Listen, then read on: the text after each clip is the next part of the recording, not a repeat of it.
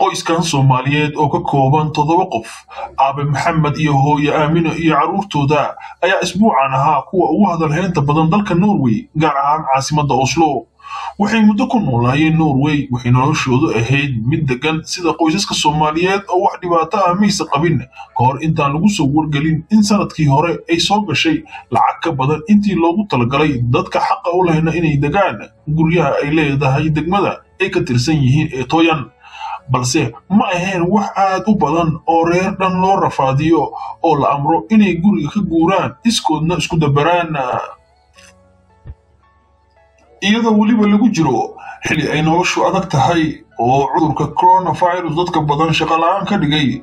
Xilli qaboobaha mararka qaar ay gaarayaan wax ka hooseeya darajada barafka toban dhibic ilaa iyo shan iyo toban dhibic.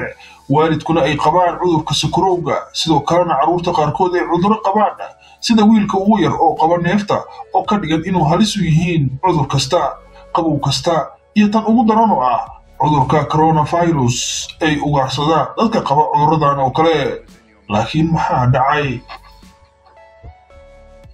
Iyadoo codsigooda ay racfaan u maqan yahay ayna ka qaateen baa waxaa dhacday in lagu dalbado ciidan hubaysan oo si qasaba uga saaray gurigii waxaa baqdin iyo argagax la geliyey carruurtii waxaa la dayacay qoys nugul. Waxaa loo sheegtay awood aysan iska caabin karin. Ilaa iyo nusu saac ay ku xirxirtaan dharkooda oo bannaanka soo istaagaan. Kadibna laga qaatay furihii guriga. Inkastoo loo soo bandhigay in la geynayo hostel. Hostel waa meelaha la seexiyo dadka dib jirka ah iyo kuwa balwadda soo ridatay. Way ku gacanseereen oo aabe maxamed jaamac ayaa yidhi carruurteyda iyo qoyskayga uma ogolaan doono inay ku noolaadaan nolol aad u liidata una foolxun waxayna toos u abbaareen xaafadda eheladooda ay degan yihiin inta ay foolxumadaasi dhacayso waxaa ku soo baxay daris aad u wanaagsan oo iskugu jira soomaali ajaanib iyo norwejiyaan mid ka mid ah dadkii ku soo baxay dhacdadaasi ayaa ahaa bajerta breng oo daris la ahaa qoyskan kana shaqeeya isla xaafadda toyen ayaa u sheegay tv-ga two ee norway inuu daris la ahaa qoyskan koo iyo toban sano. Waxay xaafaddu ahaayeen tusaale qurux badan mana filaynin inaan maanta markhaati ka ahaado dhacdada iigu xumayd nolosheeda oo haddana lagu samaynayo dariskayga ma ahan waxaan aqbali karno. Ugu dambayntiina sheegay si kastay u dadaaleen looga adkaaday in qoyskaani laga saarin gurigooda iyo inaysan isdhiibi doonin. Oo xal kale ay raadin doonaan. Dariska hortooda lagu dulmiyey ayuu yidhi dariskooda xalaasha ah. Balse maxaa xigay waxaa meel kasta gaaray warkii waxaa isxilqaamay isla dadkii dariska ahaa iyagoo ka kaashanaya xarun yar oo ku taalla xaafadda weyn ee uu saameeyeen.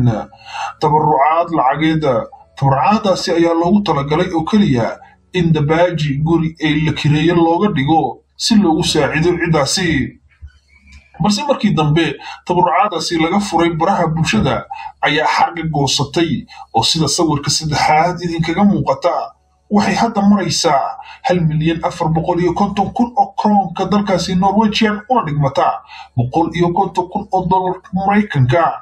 Weliba laba iyo toban maalin ayaa sii harsan oo ay sii socon doontaa lacagtaasi lagu soo shubayo akoonka ciddaasi. Waxaa ogaalaha inay ku iibsan doonaan guri weyn oo aad u qurux badan iyagoo isku leeyihiin keligood. Alxamdulilah murugada iyo xanuunkii shalay ku ilow farxadda iyo nolosha maanta darisku waa qayb ka mid ah nolosha dadnimadu waa astaan iyo damiir iyo damqasho ee aan dheer nahay duur joogta. Allah subxaanahu wa tacaala ayaa mar walba addoommadiisa ku arsaaqa meel aysan wax ka filayn. Alxamdulilah qoyska soomaaliyeedow allah ayaa idiin siyaadin doonaa noloshiina quruxda badan iyo caafimaadka iyo murugtii farxadda isku beddeshay. Sheekadaani waxaa qoray wariye lagu magacaabo maxamed deyo kana faalooda arrimaha siyaasadda. Derisna la ah qoyskaani ay dhibaatada ku dhacday ee dalkaasi norway. Waa sheekada ugu hadalhaynta badan labaatan iyo afartii saaci u dambeysay baraha bulshada soomaalida. Qoyskii faqiirka ahaa ee taajirka isku beddelay. Waxaadna meeshaasi ka garan kartaa wixii ay soomaalidu ku mahmaahi jirtay oo ah sabraa ayaa sadkiisa hela. Dhibta laguma raago inna maca alcusri yusran. Waa maxamed alfa salaamullaahi calaykum sheekadaana sii faafi walaal.